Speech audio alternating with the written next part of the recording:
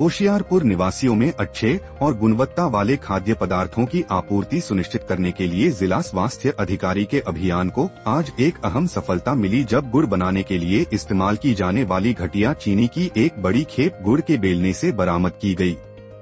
जिला स्वास्थ्य अधिकारी डॉक्टर लखवीर सिंह की ओर से महटियाना पुलिस की मदद डॉट से साथ अभियान चलाया इस छापेमारी के दौरान 100 बोरी अखाद्य संदिग्ध चीनी बरामद कर उसे सील कर दिया गया इस दौरान चीनी का सैंपल लिया गया अगर सैंपल की रिपोर्ट फेल आती है तो इस चीनी को नष्ट कर दिया जाएगा ਮੁੱਖ ਅਫਸਰ ਸਾਡਾ ਮੀਟਿੰਗ ਅੱਜ ਸਾਨੂੰ ਇੱਕ ਸੀਕ੍ਰੀਟ ਇਨਫੋਰਮੇਸ਼ਨ ਮਿਲੀ ਸੀ ਕਿ ਇਹ ਨੀਟੂ ਜਿਹੜਾ ਵੇਲਣੇ ਵਾਲਾ ਹੈਗਾ ਇਹ ਗੁੜ ਬਣਾਉਂਦਾ ਆ ਬਟ ਇਹ ਕੈਮੀਕਲ ਤੇ ਚੀਨੀ ਜਿਹੜੀ ਆ ਮਾੜੇ ਦਰਜੇ ਦੀ ਚੀਨੀ ਮਿਲਾ ਕੇ ਤੇ ਖੰਡ ਕਰਦਾ ਅੱਜ ਇਹਦੇ ਕੋਲ ਜਿਹੜੀ ਆ ਭਾਰੀ ਮਾਤਰਾ ਦੇ ਵਿੱਚ ਚੀਨੀ ਬਾਹਰੋਂ ਆ ਕੇ ਉਤਰੀ ਆ ਤੇ ਜਿਹੜਾ ਆ ਉਹਨੂੰ ਟਿਕਾਣੇ ਲਗਾਏਗਾ ਤੇ ਫਿਰ ਹੌਲੀ ਹੌਲੀ ਕਰਕੇ ਗੁੜ 'ਚ ਮਿਲਾਏਗਾ ਤੇ ਮੈਂ ਆਪਣੀ ਸਾਰੀ ਟੀਮ ਲੈ ਕੇ ਜਦੋਂ ਇੱਥੇ ਆਇਆ ਤਾਂ ਟਰਾਲੀ ਬੇਲਣੇ ਦੇ ਉੱਤੇ ਵਾਕਈ ਭਰੀ ਹੋਈ ਸੀ, ਜਿਹਦੇ ਵਿੱਚ ਇਹਨੇ ਆਪਣੇ ਮੂੰਹੋਂ ਦੱਸਿਆ ਕਿ 100 ਤੋਂ ਬਾਅਦ ਜਿਹੜੇ ਆ ਥੈਲੇ ਆ, ਚੀਨੀ ਦੇ ਹੈਗੇ ਆ ਜੀ। ਉਸੇ ਵੇਲੇ ਡਾਕਟਰ ਸਾਹਿਬ ਨੂੰ district health officer doctor Lakhvir Singh ਉਹਨਾਂ ਨੂੰ ਫੋਨ ਕੀਤਾ। ਆਪਣੇ ਸੀਨੀਅਰ ਅਫਸਰਾਂ ਨੂੰ ਮੈਂ ਫੋਨ ਕੀਤਾ, ਜੋ ਟੀਮ ਲੈ ਕੇ ਡਾਕਟਰ ਸਾਹਿਬ ਆ ਗਏ ਨੇ ਸੈਂਪਲ ਲੈ ਰਹੇ ਨੇ ਆ ਕਿ ਉਹ, ਇਹ ਸਾਡਾ ਹੈਲਥ ਡਿਪਾਰਟਮੈਂਟ ਦਾ ਤੇ ਪੰਜਾਬ ਪੁਲਿਸ ਦਾ ਜਿਹੜਾ ਇਹ ਸਾਂਝਾ ਆਪਰੇਸ਼ਨ ਹੈਗਾ ਆ, ਜਿਹਦੇ ਵਿੱਚ ਮਾਨਯੋਗ ਐਸਐਸਪੀ ਸਾਹਿਬ ਨੇ ਸਾਨੂੰ ਪਹਿਲਾਂ ਹੀ ਹਦਾਇਤ ਦਿੱਤੀ ਹੋਈ ਆ ਕਿ ਇਹ ਜਿਹੜੇ ਲੋਕ ਮਿਲਾਵਟ ਕਰਦੇ ਆ ਸਾਡੇ ਪੰਜਾਬ ਨੂੰ ਬੱਚਿਆਂ ਨੂੰ ਜਿਹੜੀ ਆ ਇਹ ਜ਼ਹਿਰ ਖਾ ਰਹੇ ਆ ਇਹਦੇ ਉੱਤੇ ਜਿਹੜਾ ਇਹਨਾਂ ਨੂੰ ਬਖਸ਼ਿਆ ਨਾ ਜਾਵੇ ਤੇ ਇਹਨਾਂ ਤੇ ਸਖਤ ਤੇ ਸਖਤ ਕਾਰਵਾਈ ਕੀਤੀ ਜਾਵੇ। ਉਸੇ ਲੜੀ ਵਿੱਚ ਅੱਜ ਡਾਕਟਰ ਸਾਹਿਬ ਨੇ ਆਏ ਆ ਸਾਡੇ ਸੱਦੇ ਦੇ ਉੱਤੇ ਤੇ ਆਪਣੀ ਸੈਂਪਲਿੰਗ ਕਰ ਰਹੇ ਨੇ। ਇਹ ਜੋ ਫੂਡ ਸੇਫਟੀ ਟੀਮ ਹੈਗੀ ਆ ਜੋ ਵੀ ਕਾਨੂੰਨ ਅਨੁਸਾਰ ਇਹਨਾਂ ਦੀ ਸੈਂਪਲਿੰਗ ਕਰਕੇ ਆਪਣੀ ਕਾਰਵਾਈ ਅਮਲ ਵਿੱਚ ਲਿਆ ਰਹੀ। ਧੰਨਵਾਦ ਜੀ। ਰੋਲ ਸਰ ਮੈਨੂੰ ਜਿਹੜੇ ਮੁੱਖ ਥਾਣਾ ਅਫਸਰ, ਜਿਹੜੇ ਐਸਐਚਓ ਮੇਟੀਆਣਾ ਜਗਜੀਤ ਸਿੰਘ ਹੈਗੇ ਆ, ਇੰਸਪੈਕਟਰ ਸਾਹਿਬ ਸਾਡੇ, ਇਹਨਾਂ ਦਾ ਫੋਨ ਕਾਲ ਗਈ ਆ ਔਰ ਉਹਨਾਂ ਨੇ ਕਿਹਾ ਸੀ ਵੀ ਡਾਕਟਰ ਸਾਹਿਬ ਇੱਥੇ ਟਰਾਲੀ ਇੱਕ ਬੇਲਣਾ ਆ ਫਗਵਾੜਾ ਰੋਡ ਤੇ ਅਤੋਵਾਲ ਦੇ ਲਾਗੇ।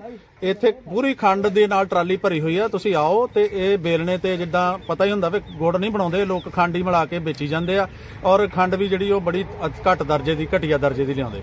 ਅਸੀਂ ਆਏ ਆ ਮੇਰੀ ਫੂਡ ਸੇਫਟੀ ਟੀਮ ਆਈ ਆ ਮਨੀਸ਼ ਸੋਢੀ ਫੂਡ ਸੇਫਟੀ ਅਫਸਰ ਨਰੇਸ਼ ਕੁਮਾਰ ਸਾਡੇ ਹੁਸਨ ਲਾਲ ਜੀ ਸਾਡੇ ਪਾਇਲਟ ਸਾਡੇ ਨਾਲ ਆ। ਤੇ ਅਸੀਂ ਇੱਥੇ ਆ ਕੇ ਵਾਕਿਆ ਹੀ ਦੇਖੀ ਆ ਜਗਜੀਤ ਜੀ ਇਹਨਾਂ ਦੀ ਸਾਰੀ ਪੁਲਿਸ ਪਾਰਟੀ ਨਾਲ ਆ।